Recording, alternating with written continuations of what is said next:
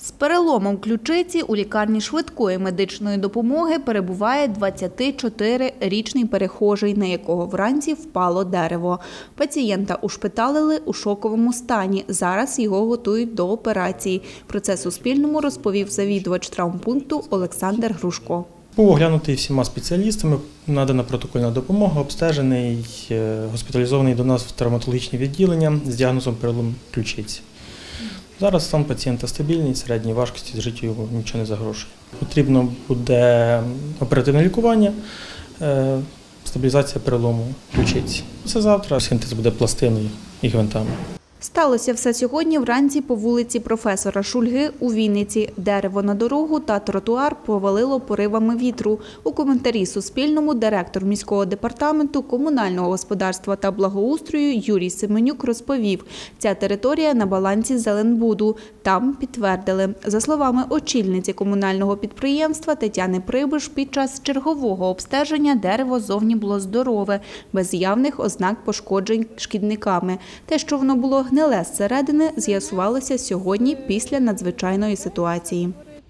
Зовні дерево було абсолютно здоровим із великою зеленою масою, і зовні пошкоджені шкідниками або хворобами наявно не було видно. Ми додатково залучили спеціалістів із Вінниця лісозахисту, щоб дали підтверджуючі документи про стан дерева, що зовні воно було здоровим, але всередині була стовбурна гниль. Ми ж не можемо вирізати в місті абсолютно всі нормальні і живі дерева. Ми ж розуміємо, так тому що це буде якісь екологічні порушення.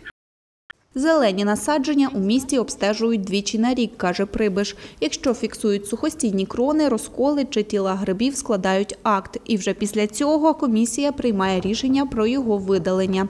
Надзвичайники, які прибули на місце, розкрижували повалене гілля та прибрали його з проїжджої частини. Поривом вітру дерево сьогодні повалило і дорогою до Хмільника. Там обійшлося без травмованих, зазначила речниця відомства Оксана Урбанська.